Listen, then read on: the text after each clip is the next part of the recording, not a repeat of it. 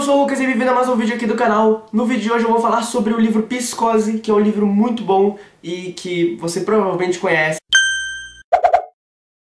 Esse livro aqui é o livro que originou o filme que tem o mesmo nome, no caso, Psicose. E o filme Psicose originou a série Bates Motel, que no caso esse ano tem a última temporada, então dá tempo de você assistir todas as temporadas, já emendar com o filme, depois emendar com o livro. Antes de eu comentar sobre o filme e também sobre a série, eu vou falar um pouco sobre o livro e aí depois eu emendo nos outros assuntos e aí eu falo logo tudo que tem que falar. Esse livro aqui fala sobre uma mulher que ela rouba dinheiro e depois ela foge, no caso ela tava trabalhando em uma loja e aí ela rouba dinheiro e foge e tipo dá um sumiço em todo mundo e ela acaba indo pro Bates Motel, que no caso é o motel da família Bates. A família Bates, até onde a gente sabe no livro, é só composta pela a Norma e pelo Norman. O livro vai se desenvolvendo até chegar nessa cena aqui, que no caso é a famosa cena do chuveiro. E é só depois dessa cena que o livro começa a realmente ter coisas e tipo, começa a ter adrenalina e coisas acontecendo e você tentando descobrir o que tá acontecendo, o que, que não aconteceu, quem foi que fez, quem não foi que fez e meu Deus, o que está acontecendo. E é muita confusão. O livro e o filme são muito parecidos, tem quase todas as coisas iguais mas a única diferença, assim, que pelo menos eu senti que foi uma diferença muito grande,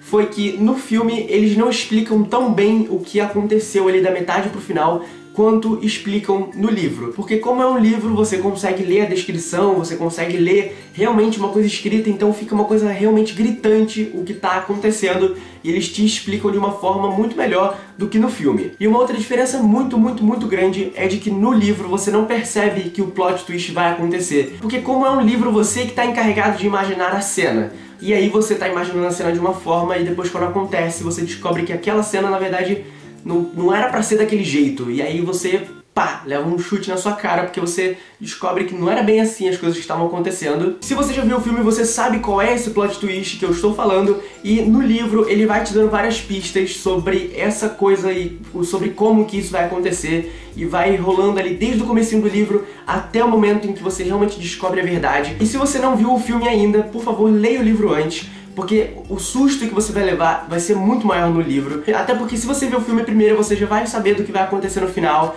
e você já vai meio que sabendo do que vai estar acontecendo, então não vai ter tanta graça assim. Mas se você ainda não assistiu, opte por ler o livro primeiro. E agora falando sobre a série Bates Motel, a série Bates Motel fala sobre a infância do Norman, no caso não a infância, mas a parte da juventude.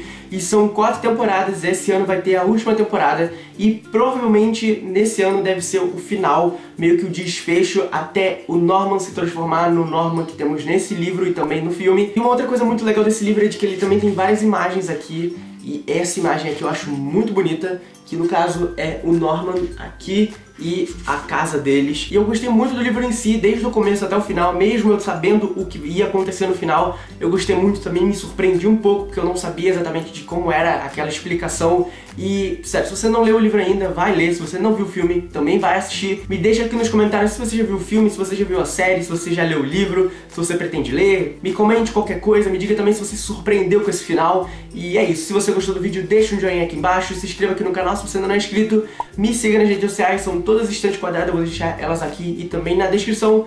E é isso, nos vemos no próximo vídeo. Tchau!